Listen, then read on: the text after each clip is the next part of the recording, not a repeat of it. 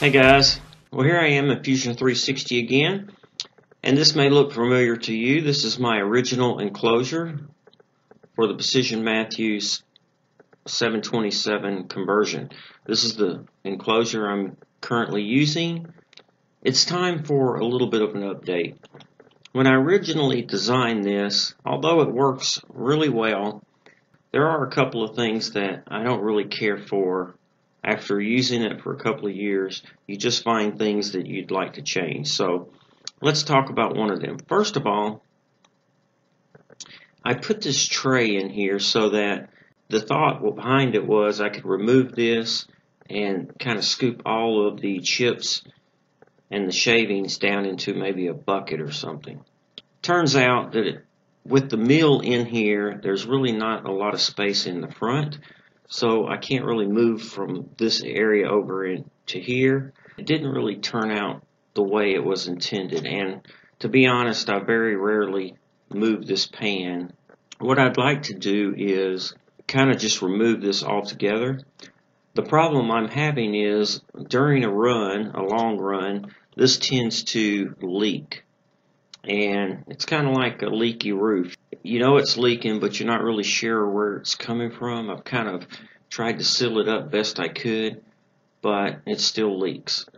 So what I'd like to do is remove the pan and take these guides off and just put in a patch panel, so to speak.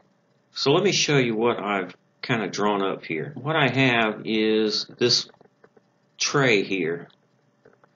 And so it's recessed about an inch here. It's got a bigger drain hole because I intend to upgrade the coolant a little bit and give me more volume. Uh, the coolant pump I currently have, although it works, it doesn't give me enough volume. And the bigger drain will be help me better evacuate all the extra coolant that I'm going to be pumping into the enclosure. A bigger drain hole, a little recess, and then I've also kind of dipped this down here. You can see it kind of angles this way, and it also angles toward the drain ever so slightly. You can kind of see it right there. Let's see what it looks like with this installed. So the plan is to just kind of come in here or weld it into place and make it permanent and try to seal this up so that we don't have any more leaks. I'll have better coolant evacuation with the bigger hole and I've also kind of moved it over to the side here so that it's out of the way.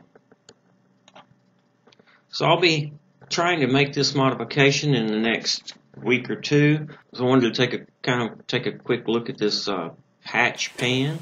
So I got a couple of pieces of 16th inch sheet metal here.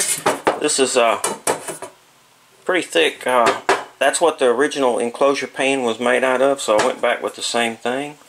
Uh, I've laid this out. I don't know if you can see it, but I've got a bend line here down the middle, and I'm just going to fold this up just slightly, give it a little bit of an angle for a drain, and then around here I've got a half inch uh, lip. I'm just going to bend it slightly and then this will go up underneath and I'll just go down through here and weld this. That should seal it up. For the pan I've got a another piece of sheet metal here. I've drilled a hole in here for the drain and you can see I'm just going to fold these edges up and make a little box and uh, weld those seams up. You can see here that I've angled it for the this pan here to kind of made up with it and I took a little piece of sheet metal and made me a tube. I'm going to weld this up, stick it in there like so, and that'll be my drain. This is a piece of one inch PVC and I'm, hopefully it'll slide right on there real nice and then that'll drain straight down into my uh, coolant tank. For this I just took a piece of pipe and I just bent it around and then I kind of flared it a little bit because my hole saw was a little bit bigger diameter than the actual tube that I was bending. But I think it'll turn out nice. I'll go ahead and weld that around there and that should seal up really well. Now for this project, I had to pick up a TIG welder. Now, over the years, I have stick welded, I've MIG welded. I used to do a lot of MIG welding for the company that I work for, uh, making repairs. However, I've never really done any TIG welding. But I know that TIG welders now are, are pretty economical. I, I mean, they go from anywhere from a couple hundred bucks off of eBay. I see videos on those, and some are, they claim to be pretty good, but having not ever TIG welded before, I don't really know. Number one, I don't really know what to get, and I don't really know uh, what I need. So I did a little research on that, and I'll show you what I picked up in the next video. Okay guys, I got all this sheet metal bent up. Uh, I don't have a brake or a shear, so I took it and ran down to my uh, dad's shop and I was able to form this up. He has a very small brake. This is 16th inch uh, sheet metal, so it was pretty tough trying to get all these bends, but I was able to hammer this out and get it pretty close. But you can kind of see how the tray is going to go and then the drain will go in there like so.